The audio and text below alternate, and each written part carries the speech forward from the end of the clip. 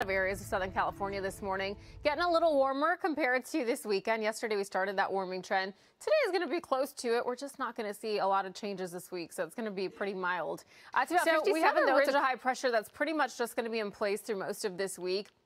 You can see it as we head into the next few days. Doesn't move too much on your Tuesday. And then as we head into Wednesday, we are just going to cool it off a little bit. We're going to have a better onshore push but it's just staying here through really the end of the week. And so we're not going to be very similar happen. to today. We might have some more morning clouds tomorrow as well. Then we get into midweek and we're going to cool it off just about a degree or two. And then we kind of just stay there without any changes in, all the way in days, just in the upper 70s.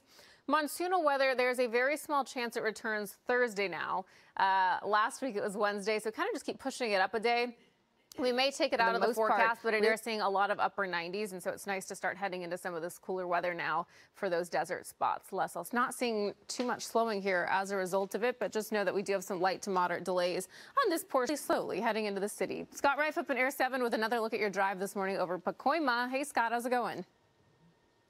Bit warmer today. We saw some of that warming yesterday, but it was a really nice weekend with those cooler temperatures. So I hope you got to get outside and enjoy it. And now as we head into today, it's going to be warm, but not too warm, not bad 90s, for the end of the August. spots probably upper 90s. That might be by tomorrow. Uh, Orange County will be right around about 85 degrees.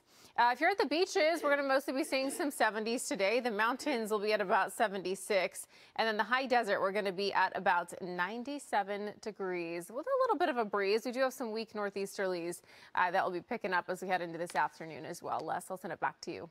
All right, Brianna, thank you very much.